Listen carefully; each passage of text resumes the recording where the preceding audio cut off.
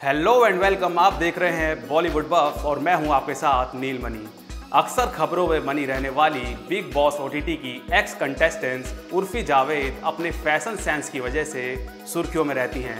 उर्फी अक्सर कुछ ऐसे आउटफिट पहने हुए नज़र आती हैं, जिसे देखकर लोग हैरान रह जाते हैं।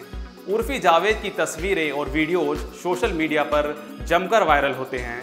जिस वजह से उर्फी को कई बार अपने कपड़ों को लेकर लोगों की तीखी प्रतिक्रियाओं का सामना भी करना पड़ा है। एक्ट्रेस को कई बार अपने कपड़ों की वजह से ट्रोल भी होना पड़ा है। लेकिन आज हम बात कर रहे हैं उर्फी जावेद की पर्सनल लाइफ की। काफ़ी कम लोग जानते हैं कि Urfi serial Anupamaa fame actor Paras Kalnawat को डेट कर चुकी हैं।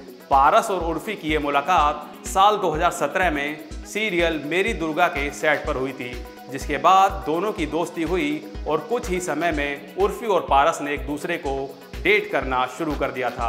शुरुआती दिनों में दोनों ने अपने रिश्ते को सीक्रेट बनाए रखा था, लेकिन बाद में दोनों ने इसे पब्लिक कर दिया था।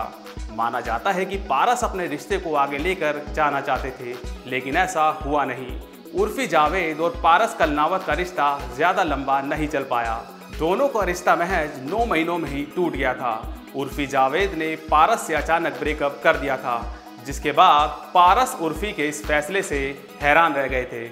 उर्फी जावेद ने ब्रेकअप की वजह बताते हुए मीडिया संग बातचीत में कहा था कि वह और पारस एक दूसरे से बिल्कुल अलग हैं।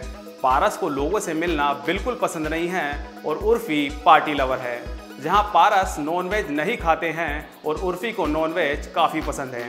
इन सब बातों के चलते उर्फी जावेद ने अपनी और पारस की जोड़ी को अपोजिट पेयर बताया था और कहा था कि ऐसी सिचुएशन में ब्रेकअप करना ही सही था। फ़िलहाल के लिए बॉलीवुड बफ में सिर्फ़ इतना ही। बॉलीवुड की तमाम बड़ी खबरों के लिए देखते रहिए बॉलीवुड बफ